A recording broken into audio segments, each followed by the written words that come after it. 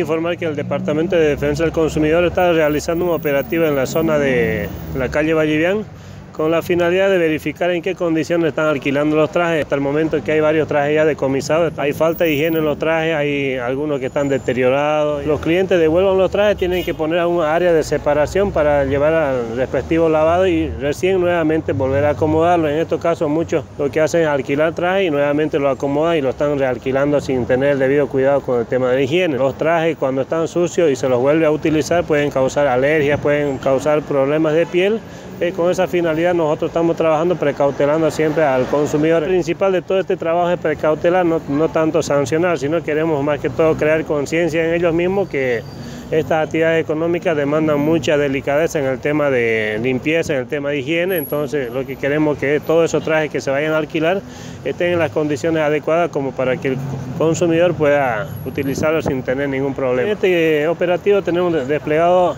20 inspectores entre inspectores y veterinarios que están haciendo todo el trabajo de toda esta zona. Haremos el control en otros lugares también y continuaremos con el tema de control de pastelería, cotillones y demás actividades que con esta fecha que están próximos al Día de la Madre.